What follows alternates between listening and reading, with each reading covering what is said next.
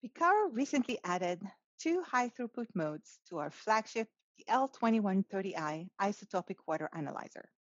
In this video, we will tell you what you need to know about the performance, the compatibility, getting started, and maintaining the analyzer when you start using the new Express and Survey modes. As you know, the L2130i is the most precise laser-based water isotope analyzer on the market and with the addition of the new Express and Survey measurement mode, it is now also the fastest. The Express mode doubles the throughput of the standard mode, providing high precision measurements of up to 50 samples per day. The survey mode enabled the analyzer to make super fast approximation of isotopic values for up to 900 injections per day. These modes enable you to quickly sort and group your samples clusters according to their value to reduce the memory effect. Once you sorted and rearrange your key samples, you can use the express mode to quickly get precise isotopic values. You will have the result you need to publish your paper in no time. You can get those two modes two ways. You can order those modes with your new L2130 analyzer, or if you already own one, you can upgrade with a simple software download. For new system, Picarro conducts comprehensive tests to ensure that the standard and express modes deliver the most precise measurements you can expect it to achieve the typical performance specification as shown in the table here. For upgraded systems, the performance and precision of standard mode should not change. When you're using the express mode, with the existing analyzer, there may be a slight decline in your analyzer performance.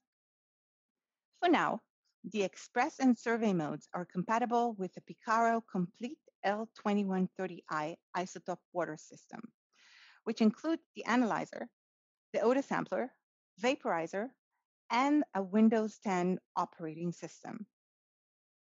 Compatibility has not been tested with the SaltLiner, so it's not recommended that you use it with those new modes.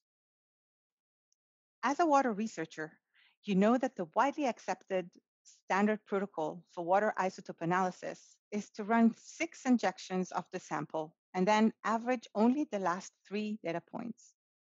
To get the best results with your Picarro system, we recommend doing a few things a little differently. When using the express mode, run 10 injections per sample and average only the last three data points to obtain the isotopic value of your sample.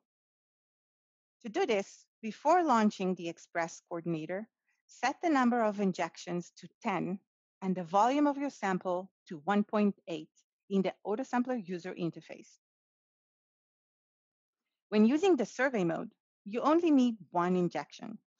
To do this, before launching the survey coordinator, set the number of injections to one and the volume of the sample to 2.5 microliter in the autosampler user interface. So now you have the power to get fast, precise measurement with your new express and survey modes. But with this new power come greater responsibility. Since the number of injection will increase, you will need to replace the septum more frequently. Also, you will need to perform maintenance on your analyzer based on the number of injections and not on the length of time you owned it. So that's all you need to know. Thank you for watching. If you have any other questions about the L2130i analyzer or the new modes, please contact your Picarro representative or visit our website at www.picarro.com. Thank you.